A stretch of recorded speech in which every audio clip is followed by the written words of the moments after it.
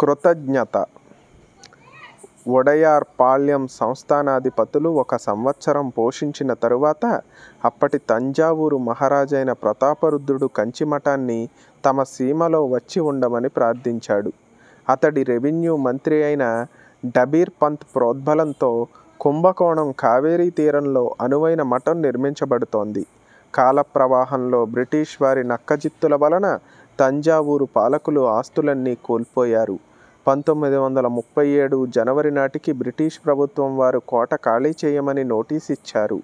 మహాస్వామి వారు ఈ సమయంలో ఒక మహాప్రయత్నాన్ని చేసి వారికి రాజభరణం ఏర్పాటు చేశారు.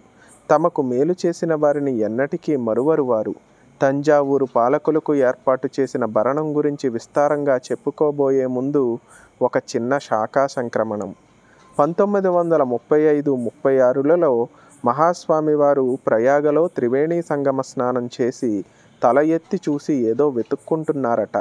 అనుష్ఠానం ముగించిన తరువాత పరిచారకులొకరు స్వామివారు చుట్టూ కలియజూసి దేనినో వెతుక్కుంటున్నారు దేనికోసం అని ప్రశ్నించారట.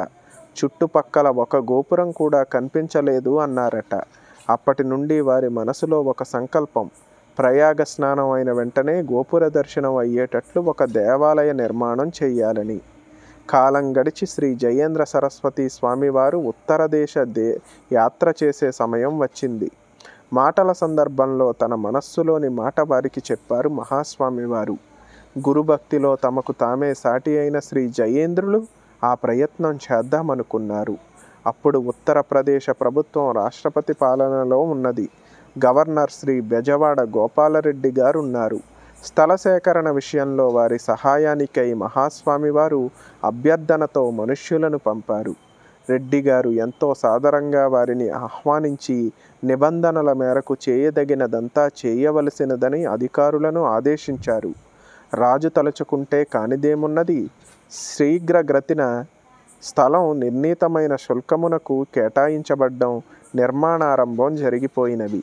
తరువాత వచ్చిన ముఖ్యమంత్రి వీరభద్ర సింగ్ అని జ్ఞాపకం. కాలంలో ప్రభుత్వపు సంపూర్ణ సహాయ సహకారాలతో కామాక్షీదేవికి ఎత్తైన స్తూపం మీద గుడి కట్టబడింది. ఇప్పుడు ప్రయాగలో స్నానం చేసి తల ఎత్తి చూస్తే ఉన్నతమైన గోపురం కనిపించని భగవంతుని మాబోంట్లకు మహాస్వామి వారిని జ్ఞాపకం చేస్తోంది. పంతొమ్మిది వందల ఎనభై ఒకటి ప్రాంతాల్లో ఆ గుడికి ప్రతిష్ట కుంభాభిషేకాదులు శ్రీ జయేంద్ర సరస్వతి స్వామివారి అమృతహస్తాలతో అమృత హస్తాలతో జరపడానికి నిర్ణయమైంది. అప్పుడు మహాస్వామివారు సతారాలో ఉన్నారు. స్వామివారికి ఆహ్వాన పత్రం సమర్పించబడింది. పరికించి చూస్తే అందులో బెజవాడ గోపాలరెడ్డి గారి పేరు ఎక్కడా లేదు. బహుశా అప్పటికి శ్రీ గోపాలరెడ్డి గారు క్రియాశీలక రాజకీయముల నుండి తప్పుకొని స్వక్షేత్రంలో స్థిరపడినారు. నిజానికి మఠానికి ఆయన మూలకంగా జరగబోయే ఉపకారం ఏదీ లేదు. కానీ చేసిన మేలును మరిచేవారు కాదు కదా మన మహాస్వామి. వెంటనే చెన్నైలో మఠానికి సన్నిహితులైన వారికి వర్తమానం పంపబడింది.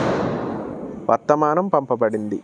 వారు హుటాహుటిన బయలుదేరి నెల్లూరు ప్రాంతాల్లో ఉన్న గోపాలరెడ్డి గారిని కలిసి వారిని ముందే పిలవనందుకు క్షమాపణ చెప్పి కారులో చెన్నై అక్కడి నుండి విమానంలో ఢిల్లీ ఢిల్లీ నుండి ప్రత్యేకమైన కారులో ప్రయాగ తీసుకువెళ్ళేందుకు అదేవిధంగా వెనుకకు తీసుకుని వచ్చేందుకు సౌకర్యాలను ఏర్పాటు చేశారు. సతారా నుండి పెద్ద స్వామి వారు పంపిన ప్రత్యేకమైన శాలువాతో వారు సత్కరించబడ్డారు. కంచి ఏకాంబరేశ్వరునికి ఏడు వారాలకు ఏడు ప్రత్యేకమైన కొలనులు ఉన్నాయి. అందులో శ్రీమఠానికి ఎదురుగా ఉన్న మంగళాతీర్థము ఒకటి.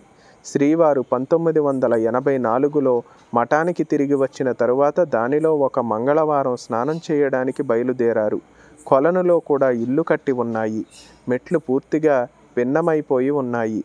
కేవలం అది ఒక మరుగుదొడ్డిగా వాడబడుతున్నది. రాజకీయ బలం లేకపోతే ఆ ఆక్రమణదారులను తొలగించడం సాధ్యం కాదు. స్వామివారు అప్పటి దేవాదాయ ధర్మాదాయ శాఖ మంత్రి వద్దకు తమ శిష్యులను ఒక విజ్ఞాపనతో పంపారు.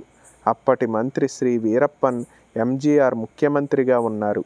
కంచి మహాస్వామి వారి నుండి వచ్చిన వర్తమానం అనగానే ఎంతో శ్రద్ధ తీసుకున్నారు. కరుడుగట్టిన ద్రవిడోద్యమ నేత రామస్వామి నాయకర్ అనుయాయులు శ్రీ వీరప్పన్ కావలసిన నిధులు ఉత్తర్వులు జారీ చేయబడ్డాయి. అయితే ఆ తీర్థానికి దురాక్రమణలను తొలగించి ఫెన్సింగ్ వేసి మెట్లు కట్టే సమయానికి వీరప్పన్ ప్రభుత్వంలో లేరు సరికదా? ప్రభుత్వ పక్షం వారికి పరమశత్రువులుగా పరిగణించబడుతున్నారు. కొలను సిద్ధమయ్యింది. మహాస్వామి వారు మంగళవార స్నానానికి వెళ్ళబోతూ వీరప్పన్కు ప్రత్యేక ఆహ్వానం పంపారు. తాము నీటిలో దిగి అతనిని అదే సమయంలో స్నానం చేయమని చెప్పి పునీతులను చేశారు.